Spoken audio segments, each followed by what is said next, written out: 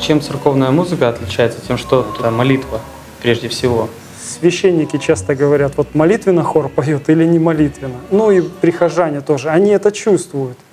И вот в этом смысле я считаю, что большим даром для нас является, что у нас получается передавать именно молитвенное состояние э, в этих песнопениях.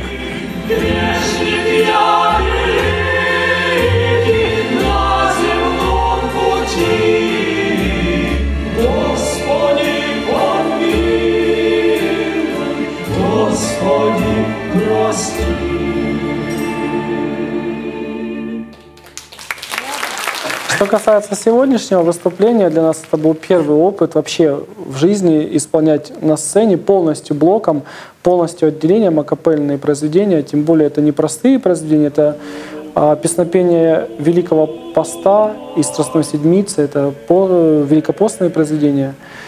Конечно, впечатления потрясающие. Волнительно было, вот э, не то слово. Надеемся, что людям понравилось и пришлось по душе. Великолепный концерт. До сих пор нахожусь под впечатлением, потому что ребята настолько все правильно, чисто делают. Ну, вы видели по реакции зрителей, потому что я получил колоссальное удовольствие.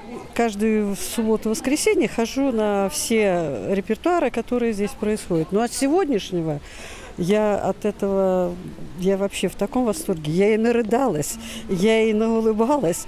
Ну, слов нет. Вообще, конечно, голоса, э, наверное, от ангелов. Господи, возвах.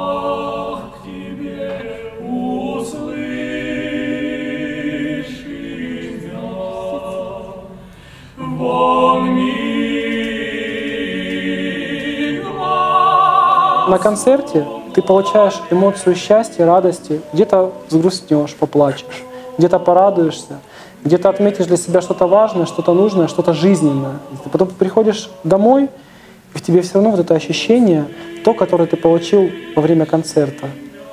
Теплое, радостное и светлое, грустное, можно так даже сказать.